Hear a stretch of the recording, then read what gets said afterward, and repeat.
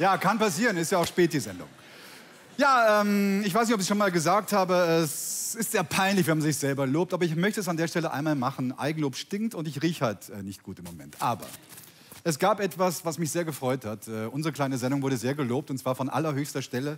Eine Art verbaler Ritterschlag, aber hören Sie doch einfach selbst. Herr Bundespräsident, kennen Sie eigentlich Ihren Doppelgänger, der bei Stermann Grissemann auftaucht? Kennen Sie diesen Heinz Fischer?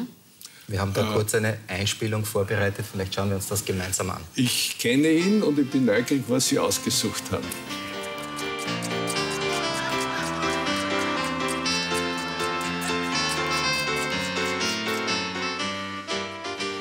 Bitte, Sie sind genau auf Kurs. Bitte weichen Sie zurück.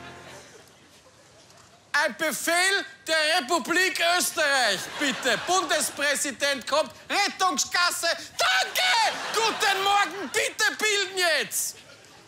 Auch ein Bundespräsident kann einmal die... Na Guten Morgen, schöne Frau. Danke. Na? Schöner Tag heute, gell? Bitte Hände aus den Taschen, wenn der Bundespräsident kommt. Danke. So. Was sagen Sie dazu? Bin, ich habe Sie können auch drüber lachen. Ich kann drüber lachen und manchmal sage ich wirklich so Guten Morgen, wie es da vorkommt. Also heute früh habe ich so gesagt Guten Morgen und alle haben gelacht und ich habe mich gefreut.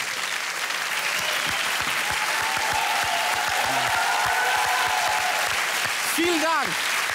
Wirklich, das ist Lob von höchster Stelle. Und ich, ich glaube nicht, ich glaube wirklich nicht, ohne alle zu kennen, aber ich glaube, es gibt in ganz Europa keinen äh, Präsidenten, der ähnlich selbstironisch ist wie Heinz Fischer. Also in Russland wären wir beide längst in Sibirien. ja, Ja, danke Heinz Fischer, wirklich. das ist wirklich Lob. groß. Ähm,